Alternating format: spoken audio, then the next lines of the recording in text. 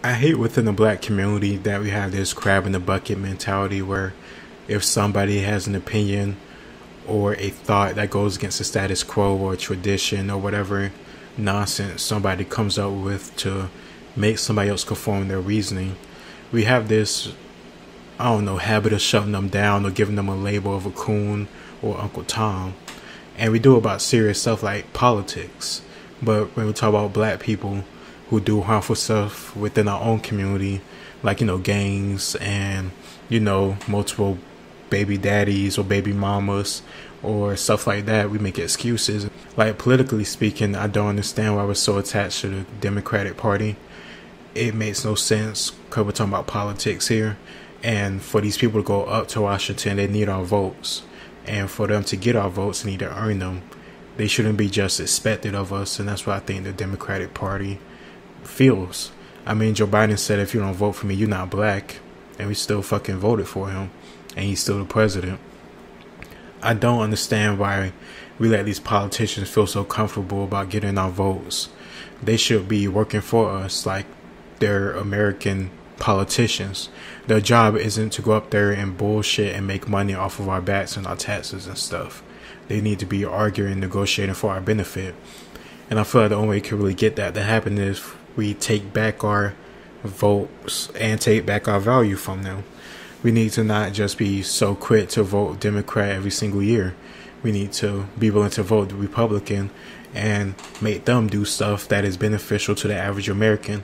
I feel like no matter what your race is, we all have the same problem for the most part.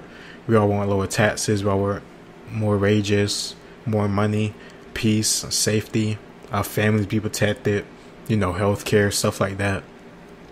And for us to just so quickly align ourselves to the party takes away a lot of our value as a vote and takes away a lot of our negotiating power. If you was to go and get a car, you wouldn't go and take the first deal that the dealership will offer to you. You would negotiate and try to bring it down lower.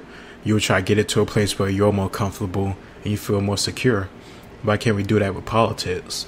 Why can't we demand these politicians who claim to represent the minorities to actually do stuff, you know, for minorities? And I don't mean handouts. I just mean stuff that the average American would like. Lower taxes, less bullshit, less bloating of our government, and all the money that go to politicians or all these other facilities that we don't need. I'm not a pure small government guy, but I am in favor of the average person the American citizen having more of their money. And I think we can do that if we stop putting this shit in bullshit programs where senators and other representatives and politicians can take the top off and get their own money. We need to take out um, investing in companies while you're a member of Congress. So many members of Congress got rich off the pandemic because they knew what companies they were going to give grants to or they were going to sign contracts to and they invested into those countries before those contracts were given. And after those contracts were given to those companies, their stocks shot up. So of course those senators who invested beforehand made a fuck ton of money. But they're not gonna talk about that on social media or mainstream media. This is type of shit we need to care about. We need to stop giving a fuck about the shade room and all this drama with celebrities and all this other bullshit with entertainers. There's no reason why the president or the president elect should be coming out with Cardi B or any other entertainer or athlete to talk to me about politics. If you want to talk to me about politics, come out with Thomas Sowell, or come out with another economist, or a some type of professional man, like somebody that invests their time and life into knowledge and thought and politics and stuff that matters in our life. I don't give a fuck about no dumbass rapper or no dumbass singer when I need to figure out how I'm gonna fucking take care of my family and all this other important stuff every single day. I think it's it's insulting that they come out there with singers and entertainers to try to get black people to show up for their political events.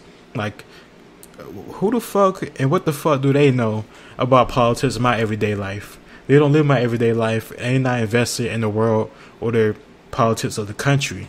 So why is they being brought out as some type of magnet for me? Like, it makes no sense. We need to stop allowing this shit to happen. And in my opinion, the only way we can do that if we take control of our votes and take control of our political power. And I'm not saying for people just go vote Republican or another party. You can vote whatever the fuck you want. I'm an independent person. I don't align to any party because I think they're both full of shit right now. I just feel like us as a community need to step back and not just be so quick to jump on the Democratic Party train. But that's just my opinion. It's your boy Logos, and I'll see you on that song.